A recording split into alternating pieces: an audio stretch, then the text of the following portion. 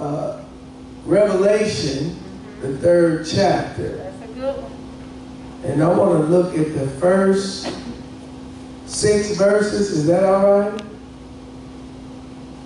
Revelation 3, 1 through 6. And I'm going to think I'm going to read out of the NLT today. Revelation 3, 1 through 6. And it reads, Write this letter to the angel of the church of Sardis. This is a message from the one who has the sevenfold Spirit of God and the seven stars. I know all the things you do, and that you have a reputation for being alive, but you are dead.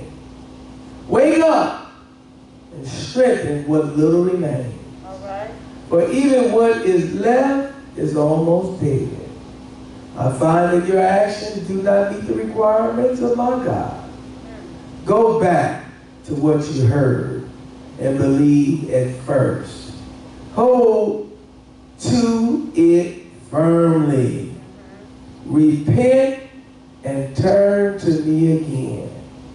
And if you don't wake up, I will come to you suddenly, as unexpected as a thief. Yet there are some in the church in Sardis who have not soiled their clothes with evil. They will walk with me in white, for they are worthy. All who are victorious will be clothed in white, and I will never erase their names from the book of life. But I will announce before my Father and his angels that they are mine. Anyone with ears to hear must listen to the Spirit and understand what he is saying to the churches. Father, we want to thank you again for your word. Lord, we pray that you would touch tonight Thank you, Lord. a special way. Hallelujah. Lord, help us to hold to what we have. And Lord, we thank you for this relationship. We thank you for the covenant.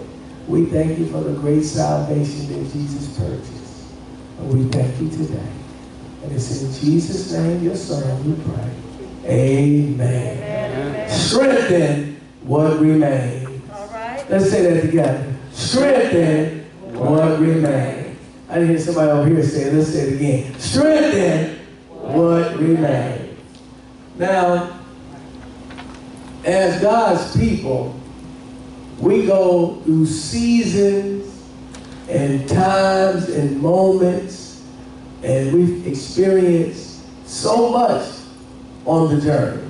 Yeah. We have ups, we have downs, we have, you know, valleys, we have times, we on the mountaintops, we have times when it feels like spring, winter's over. And you can take your coat and put it away. And, and, and you can feel the breeze on your skin and, and the wind blowing through your hair. And then all of a sudden, it starts raining on your parade. And we go through so many different things, even things that try to pull at our hearts to take away our deep, devoted affection for the Lord. And so we, we thank God because He's awesome in all His ways. He's a mighty God. He's a awesome wonder. And so we thank God for this particular uh, chapter in Revelation.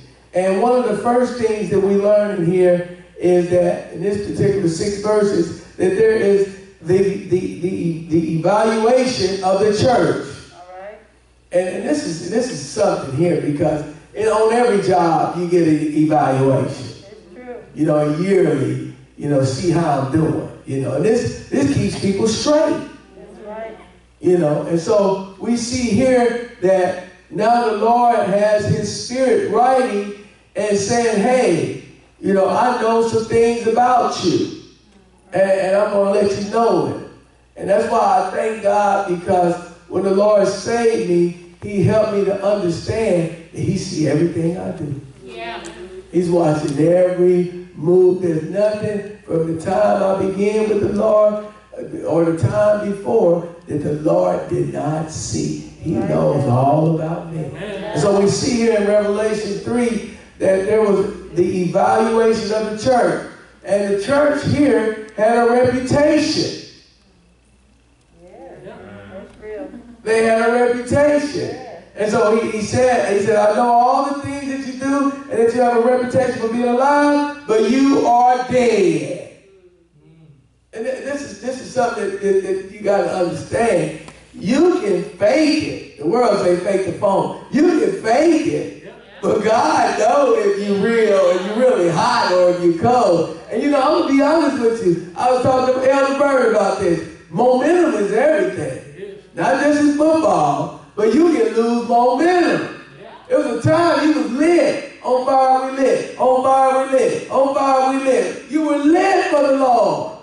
Okay. Now the fire, the flame is going away. You have a barbecue? How many like barbecue? Raise your hand if you like barbecue. When you have barbecue and you got you some good meat and it's seasoned and it's ready to go, you got your sides over here. Now you go out there and let them coals that went out. It's an emergency to get them lit. Because you know you hungry and you ready to get things happening.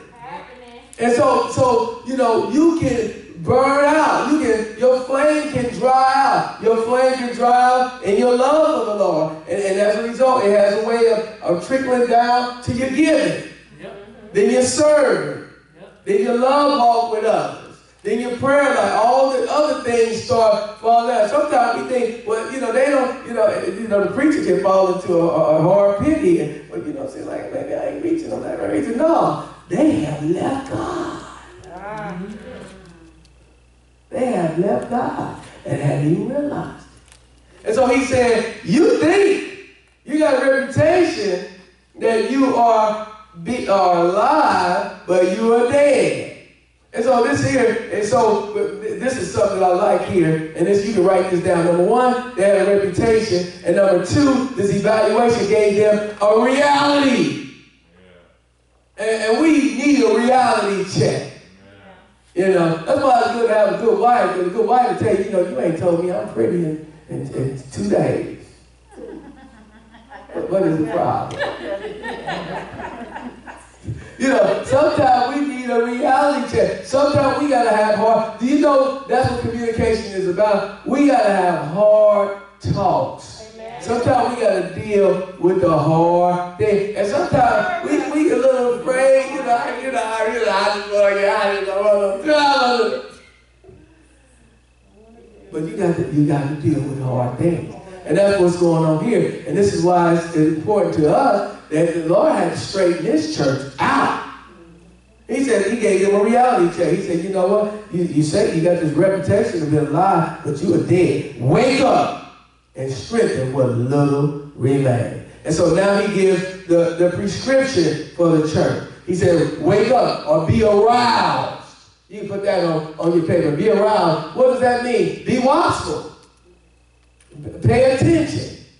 As, as a people God, we have to pay attention. One of the things your pastor always says is this, you know, when you look at uh, Sunday, we get to the weekend, and, and you look at Sunday, then you look at Monday, Tuesday, Wednesday, Thursday, shoo! And we're right back to Saturday and Sunday again. You know, so by the time being so rampant, you sure know that the Lord is soon to return. Just about how fast everything is going. Sometimes you just, would. I remember 10 years ago, I said, Lord, it's going so fast, I'm going to push the pause button. You ever watch the movie and say, wait, whoa, whoa, whoa, I need to go in here, give me some juice or something like that, push a pause here, and it's getting good. You know, and so in life, it can speed up so fast where you want to just slow these things down.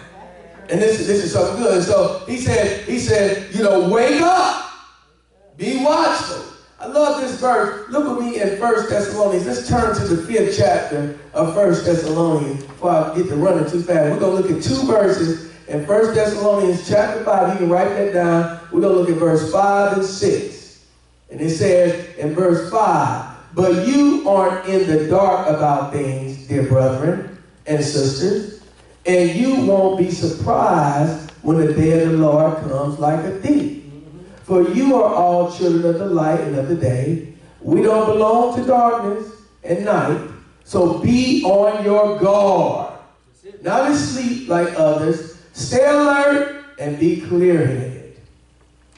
Stay alert and be clear-headed.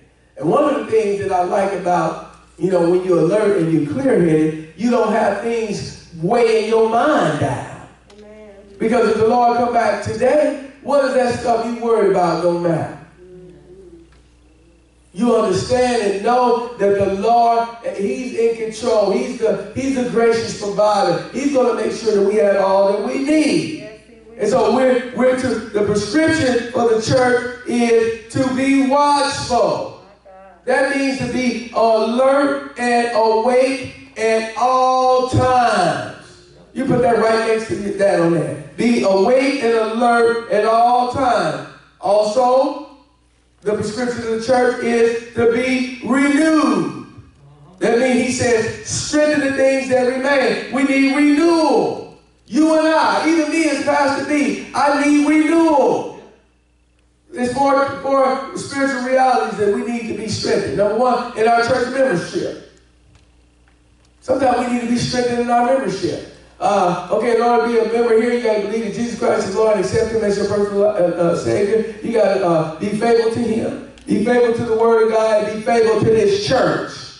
Can you do those things? And so we need to be strengthened in church membership. Sometimes you can dwindle in that. Sometimes you can, you know, uh, you know, I, you know, I ain't coming today. We, you know, I had my ushers, they sent me a text message that they ain't coming. Well, I had to send them a text message back. We need to look better notice of that. All right, Pastor. You know, you knew yesterday you wasn't coming. You know, now if it was on your job, you ain't just to get them know any old thing. I'm preaching this quiet tabernacle. You know, and so, you know, while we gonna do God, you know, we, we got momentum. The church is rolling now, Phil. We rolling again. We gonna lose momentum? How many know the devil's alive?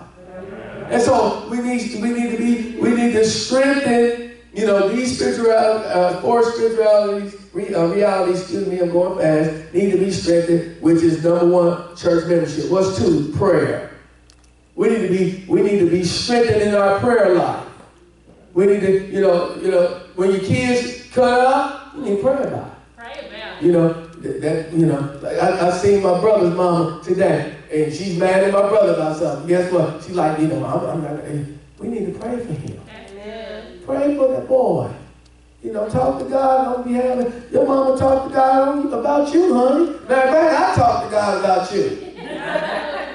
You know, a lot of times we don't, a lot of times people forget to pray. That's right. You know, we want to whoop, you know, I'm gonna, when you get home, I'm, you know, we want to do all this.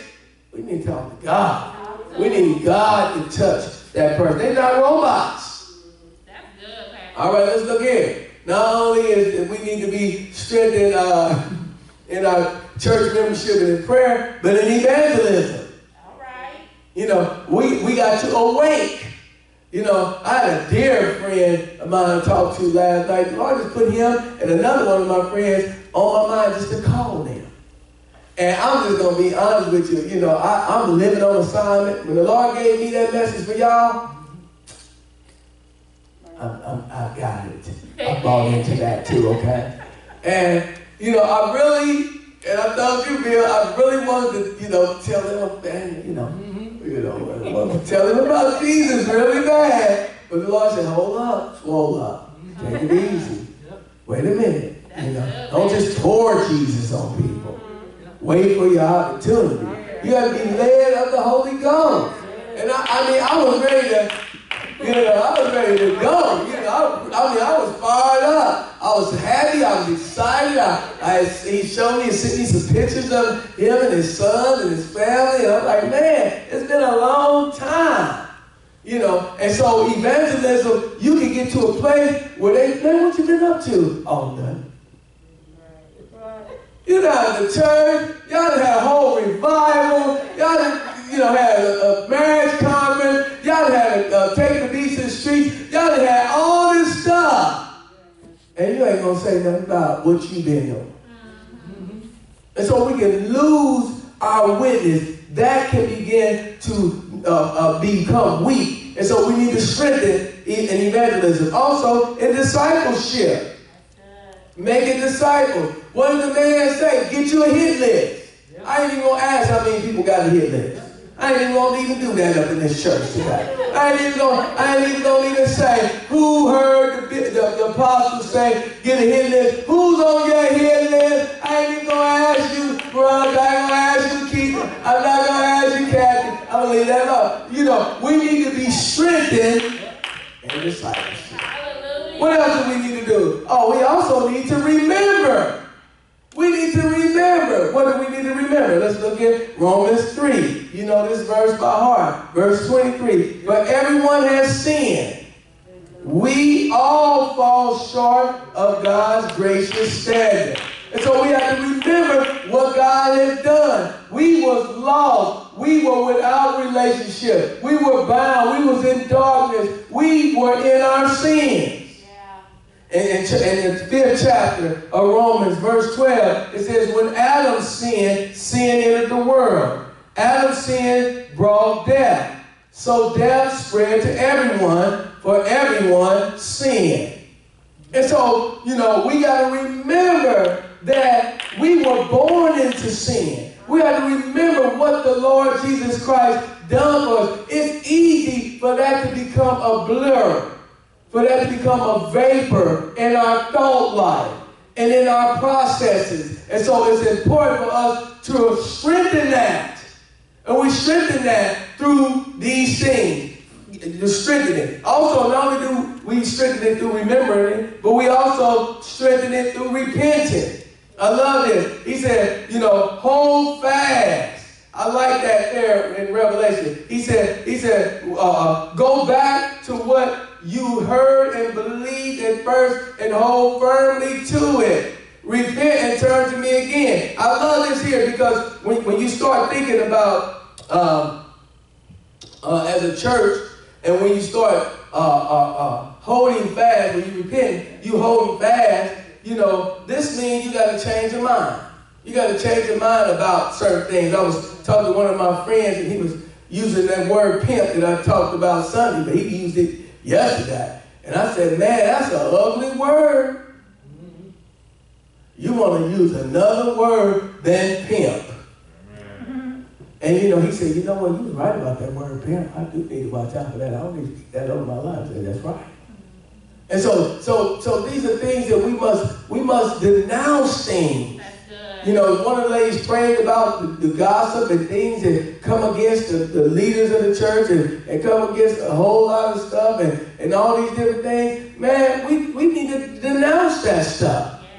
I remember we was playing basketball and the dude was talking about me like a, oh man, like a white mouth mule. He talked bad about me. And one of the brothers told him, man, I'm not going to sit here and let you talk about my pastor. All right now. And it curved it. I'm glad it curved because you know, you know, sometimes Moses and Peter and all them jumps at me, and I had to really, I, you know, like she sung, I need just a little more Jesus, you know, and so I thank God that He had enough, to, you know, you know, to critique that, you know, and you know, sometimes people be mad at you. Oh. And I'm like, hey, listen, I'm God's humble servant. I've been anointed to serve. My anointing is not so I can be this and that, but to serve and do the will of God in my life. And so this is something that, that happens to us as we're on the battlefield. You know, all those who desire to live godly in Christ Jesus shall suffer what? Persecution. Persecution. All right, so we've seen the two things. You know, we've seen the evaluation, we've seen the prescription, now the ultimatum to the church. He said, if you don't watch, I will come like what? A thief. A thief, when he stole your cassette deck, cassette deck, or your pull out, he didn't let you know he was coming to get your pull out. All of a sudden, your doors open, window busted, and you don't have a radio. And so he said, you know, if you won't watch, I'll come upon you like a thief. I love Isaiah chapter 66, verse 4. This is powerful. He says in verse 4, Isaiah 66, verse 4, I will send them great troubles. All the things they feared For when I called, they did not answer. When I spoke, they did not listen. They deliberately sinned before my very eyes and chose to do what they know I despise. See, you know, I looked at that I was like, woo. You know, and this is this is something here, you know, God gives warning. I'm so grateful that I'm saved. I'm so glad that I know the Lord. I'm so glad that my whole life ain't in a cup. Yeah. Some folks gonna drink no matter what. You can see it, you, you can tell what type of life they living by what's in the cup. All right. something about that cup.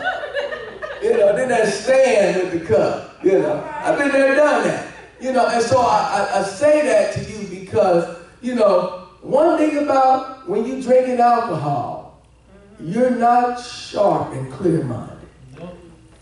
True. You know, folks will make Google eyes at you that wouldn't normally have did that. You know, things happen when you drink alcohol. You know, and so that's why it's important that you and I strengthen what remains. Because during this pandemic, people want normalcy so bad, they're backslide. They won't even know it. They doing things that they said and pledged that they were never going to do again. That's what he said in Isaiah. They doing things that they know that I didn't want them to do. And see, this is something that, you know, we have to be careful of. That's called presumptuous sin. And so he said, if you don't watch, I will come like a thief. And so this is a, a- a- an indication or an exhortation for us to abide in the Lord's word at all times. I love the word of God. I try not to leave without, I make time. I wish I could make a whole hour. But I got to have me at least 20, 30 minutes where I can just listen to what God might be saying. That's it. I need to sit in a spot and I need to have things that I look at and read that can get my spirit right for the day.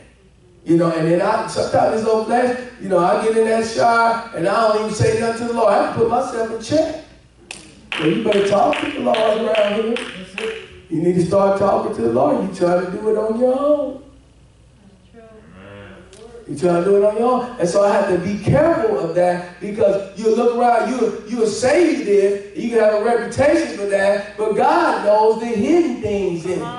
He knows the secret things. in- He knows the things that you are involved in that don't nobody see but you and him. And so God is warning us. He said, you know, we got to, we, there's an ultimatum. If you don't watch, I will come on you unexpectedly. And see, that's why it's important for the saints, you know, s- don't stop praying, don't stop fasting, don't stop, you know, you know, uh, fellowshipping. Don't look down on fellowship. Don't look down on each other. Don't, don't, you know, don't get to a place where you don't value each other. I value my relationship with my brothers and sisters in the Lord. I value it. I cherish it because we could be lost and, and, and in sin. We could be crazy, blind, crippled, and crazy. We could, we could be around here, you know, just, you know, uh, I was talking to my uncle and he was telling me about, he said, man, nephew, you, you know, I know you be at home in the bed, but I work nights. I get up and I go down, they got a club over there. He said it be cars on both sides of the street like it ain't even a, a COVID-19. Mm-hmm. I said, man, he said, yeah, man. And, and, and, and he's single. And the girls don't fear God no more. Wow. Say, man, what you gonna do with a woman that don't fear the Lord? Ooh-wee. That's what Potiphar's wife was. She didn't fear the Lord. Right. That woman had everything. This was a queen. She had outfits, she had money, she had style and swag. She had a man that loved her, was devoted to her, and she wanted another man. My Lord. Straight in the flesh. And so, so this is an example of how we can be. We can have everything.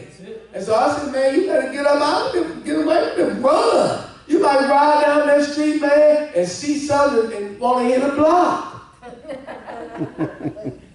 you know, you gonna have to, you got to cocoon yourself. Stop looking for a woman. Yeah. And let the Lord lead you in that direction. When you surrender, that's when He takes over.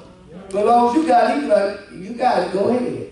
Right. I had kids, and I said, let me tell you, no, I got it. I sit there and watch, man, hey, They ain't got it. man, Telling the truth. what are you doing? You wasting a whole bunch of time. And so, so this is what we need to do. We need to stay with God, we need to stick with God, we need to have a, a deeper desire, and that comes through prayer too. We need to ask God, Lord, you know, I, you know, I ain't hungry and thirsty. That's right. I don't want to watch, you know, uh, the, the Christian message now. I want to, I want to see what, you know, love and basketball, love and this and all this new stuff. I don't want that no more. My, my flame is out. And so we had to cry out and ask God, Lord, I need you to restore. Restore what was lost.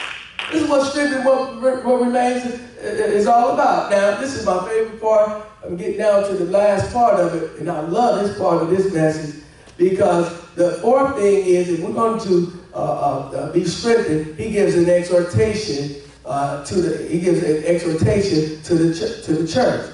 First of all, he talks about a remnant, and so he said when you look in Revelation, he said, wait a minute. He said, well, look at it. Look, see, he said, look. He said, yet there are some in the church of Sardis who have not soiled their clothes with evil. Yes. Oh man, that you know, that just shows that everybody ain't out here tripping. That's right. Every church is not really with a bad motive. There's some people that's really doing it right. And so he brought up, he said, they have not, he said, listen, this remnant, he said, look at this. He said, there's some in the church who have not soiled their clothes with evil. They will walk with me in white. Yeah. Now this is this is something that here. I was like, man. I just got through getting a word from the Lord talking about his precious remnant. Mm-hmm. I want to be with the remnant of God. Hallelujah. He said they have not soiled their stuff. And this is this is what's so good about God. That's what one of the things I learned from Brother Hawkins. He said God wants honesty and transparency. Yes. I said, man, I like that, Brother Hawkins. Yeah. You know, that's what God wants. When you honest, when you when you when you say, hey, listen, you know, I'm struggling. Yeah. Right. I'm in sin and I'm struggling. When I got saved as a Christian and I had, I was struggling because I had my girl and I'm like, man, this is not right how we living. And I said, I was in the fight. I'm gonna have to get married. But I was honest. I was like, man, I got to get right. Mm-hmm. You know, and I fought, fought, fought me and her, and we got it together, and we we got some time under our belt. Right. You know, but I learned from that is that you got to be real. What's that song you sang, Big? God wants somebody that's real. You know, saved and sanctified, Holy Ghost filled. You know, He wants somebody real. You got to be real. You got to be honest with the Lord. You got to be, you got to be honest with your friends and brothers in the Lord. You got to be like, you know, y'all, man, I got so angry today, man. I need prayer. I need prayer. You know, I need prayer. You know, I, I you know, I now I thought about it. You know, I might have could have handled it a little differently. Uh-huh, okay. You know, but you know, man, I was just so mad. You know, I need this, and you know, let's you know, let's pray. Yeah. Let's ask God. You know, let's let's talk about it. You know, let's work together. He said, you know, confess your fault one to another, and you will be healed. Is what the Bible says. But we didn't got to a place where we just stuff and stuff. You know, and then now our consciousness began, began, began to be seared. Because we doing stuff and we just going on anyway without confessing. God, come on.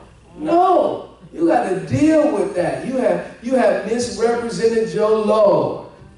You know, that's like my grandson. He tells grandma, she's getting on him, or I get on him. He's like, I'm sorry. That ain't it. it don't stop it. Yeah, I'm glad you're sorry. But you got a consequence coming from that. That's good. And so that, that's how the Lord, when we represent Him, He wants us to be sorrowful, but He wants us to be sorrowful enough to say, I'm not going to do that. Right. Don't go and do the same thing. Don't continue in that. That's why He said, when you practice lawlessness. See, when you make it a practice, He even tells us about even with people who practice certain sin. You know, when people make that they practice, we're supposed to step back from that. Oh, wow. That's so. You know, we got to step back. You know, if you practicing that, then I don't want to be connected to you because that's what you are practicing. You Come see. on. This, is- this is something here. And so he, he, he talks about there are some who he said, they will walk with me in white, for they are worthy. And so I just want to thank God that there is going to be a remnant. W- They are worthy because they have held on to faith. And that's what they are people who uh, uh, have held on to faith. They are worthy because of that. And also, they're victorious. And, and they're victorious because what is the Lord going to do? He said, you know, all who are victorious will be clothed in white, and I will never erase their name from the book of life, but I will announce before my Father and his angels that they are mine. Oh, we all the sin. I think about all the sin I've committed. I'm talking about me. Every lie, every uh, unrighteous thought, every deed, everything I touched, every time I stole, every time I was slick and schemed, every sin that I've done that only God Almighty knows about. He said, He's with me. He's mine. Hallelujah. I mean, that's enough to make you say, man, whatever I was into before I came to church today, that did it. That did it. That's it. If God got a people, there's a remnant that's going to be with him, and there's going to there's, there's a people that's going to walk in white. I like white. I just don't like white in this world because I put on white, and somebody going to run up on me and get me dirty. I love a white shirt, a white t-shirt. I love white. I even like white shoes, but I don't fool with it because somehow another they gonna get dirty. You know. And so, but but you know, you know, he said we're gonna walk in white. Yeah. That white symbolizes purity. Yes. You know, we're gonna walk with him. And so this is an exhortation to us all that you and I must strengthen what remains. Don't let it get weak. Don't let your relationship grow weak. Don't let your walk become stale and stagnant. But let it flourish and let God get the glory for your life. Amen. Come on, let's stand to our feet.